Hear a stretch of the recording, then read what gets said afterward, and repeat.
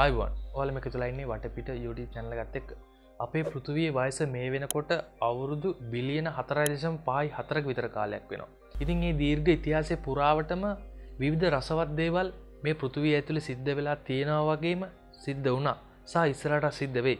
හැබැයි අපි අහන දකින දේවල් එක්ක ඉතිහාසේ සිද්ධ වෙලා තියෙන දේවල් ගැන කාලනිර්ණයන් අපි පටලවගෙනන්නේ. ඒ ගැන්නේ ඒ දේවල් සිද්ධ වෙලා තියන්න අපි හිතන් හිටපු කාලය නෙවෙයි ඊට හාත් පසින්ම වෙනස් කාලයන් වල ඉතින් අපි මේ සූදානම් වෙන්නේ ඉතිහාසේ අපිට පැටලුණු කාලනිර්ණයන් කහිපයක් නිරවුල් කරන්න.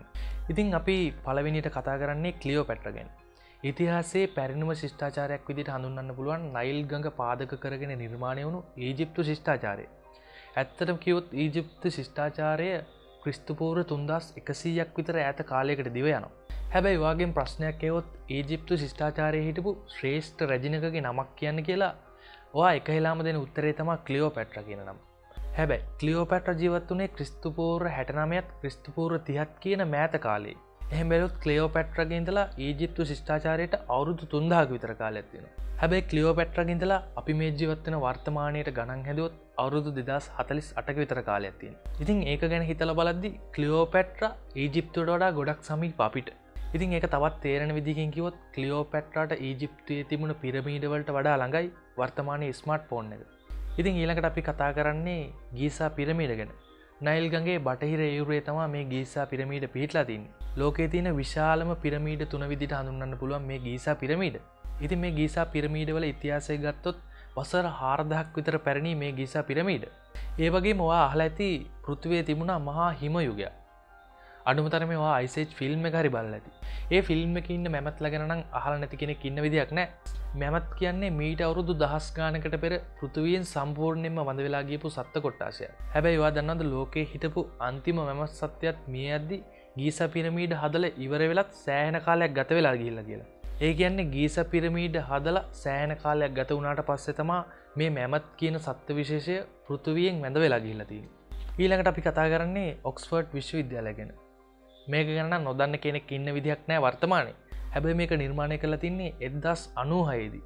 ඒකන්නේ මේක සෑහෙන පරණ විශ්වවිද්‍යාලය ඒකාල බොහම පොඩිවට පටන්ගත්ත මේ විශ්වවිද්‍යාලය වර්තමානය වෙනකොට ලෝක පුරාම් ප්‍රසිද්ධ විශ්වවිද්‍යාලයක් විදිර හඳුන්න්න පුළුව එතකට ඔයා හලතිනවද පුරාණ මායා ශිෂ්ඨාචාරයෙන් පස්ස බිහුණු ඇස්ටෙක් අධිරාජ්‍ය ගැන? වර්තමාන මෙක්සිකෝ පදනම් කරගෙන තමා මේ ඇස්ටෙක් අධිරාජ්‍යය බිහිවෙන්.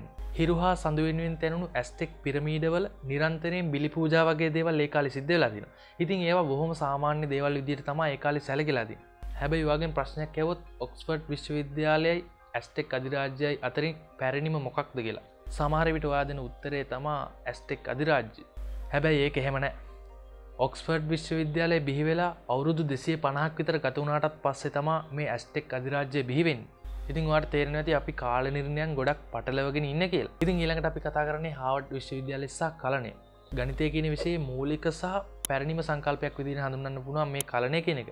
ඉතින් මෙතනදිත් කලනය කියන පැරණි ගනිතමෙන් සංකල්පයට වඩා හාවඩ් විශ්වවිද්‍යාලය ගොඩක් පරණයි. ඉතින් ඊළඟට අපි කතා කරන්නේ ජුරාසික්වල් ජුරාසික්වල් චිත්‍රපටය කරන්න නෙවේ හැබැයිවා ජුරසික්වල් චිත්‍රපට එමනත්තන් ජුරසික් පාක් මොක්හර චිත්‍රපටයක්ව අනිවාර්යම බල ඇති.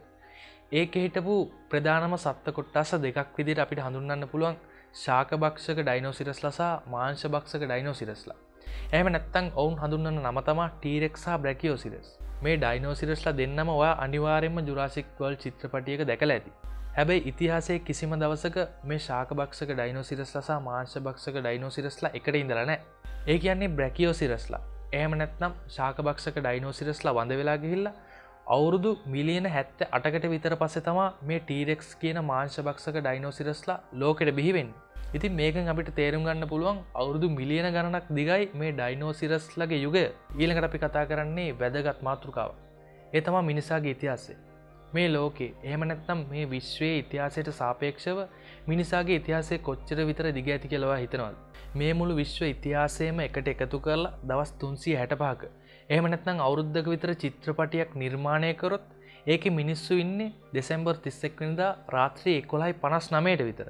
ඉතින් ඒ තරම් පුංචි කාලයක්ත්තමා මිනිස්සු මේ ලෝකයේ ජීවත් වෙලාතින්.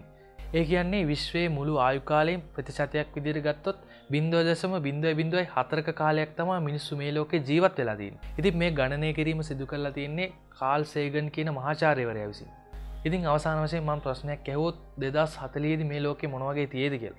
එතකොට වාට හිතෙනවා ඒ තරම් ඉස්රට අපි කොහොම දැම්ම හිතන්න කියලා. හැබ මංවාගේ ඇවොත් එදස් නමසය අනුවවෙදි මොකද උනේ කියල්. එතකොට ඒක නිකන් අපිට මෑත කාලයේදී වගේ. අපි ඉපදුන එදස් නම්සේ අනු ගණන්වලනි එතකොට මේක මෑත කාලය වගේ හැඟීමත්තම අපිට එන්නේ. හැබැයි හරියට ගණනය කිරීම සිද්ධ කළොත් එදස් නමසේ අනුවේදලා දෙදස් දහනමයට අවුරුදු විසි නමයත්තිය ඒත් එක්කම දෙදස් දහනමීන්දලා දෙදස් හතලයට තින්නේ අවුරුදු විසිය එකයි ඒ ගැන්නේ එදස් නමසි අනුව වර්ෂයට වඩා අපිට දෙදස් හතලිය කියන වර්ෂය ගොඩක් ළඟයි. හැබැයි අපෙන් එක පාරම දෙදස් හතලිය අවුරුද්ධග නැව්හම අපිට මුකුත් හිතාගන්න බෑ. ඉතින් මේකෙන් තේරෙන එකමදේ තමා ඉතාම වේගෙන් අපිට නොදැනීම මේ කාලේ ගත වෙලා තියෙනවා කියෙන එක. ඉතින් මේ වීඩියෝ වැදගත්වේ කියලා හිතුරු නිසා තම අපි වාලට මේ විඩියෝ අරගෙනාවේ මේ විදිම අලුත් විඩියකින් හම්මෙන බලාපොත්තින් සමුගෙන යන්නට මේ සූදානමෙන් වල තම අප චනක සබස්ක්‍රයිප් කල නත දෙම පල්ල රතුට බටන කොලා සබස්ක්‍රයිප් කරන්න. ඒවගේ මුචි බෙල්ල එක නෙක්ලිකරොත් අපලුති විඩ දාපු ගම ඔයාල්ලඟට ගන්න ගැනීම හැකියාවත්තියෙනවා ඉතින් මේ වගේ මලුත් වීඩියකින් හම්බෙමු සීලම් දෙනට සුබදවසක්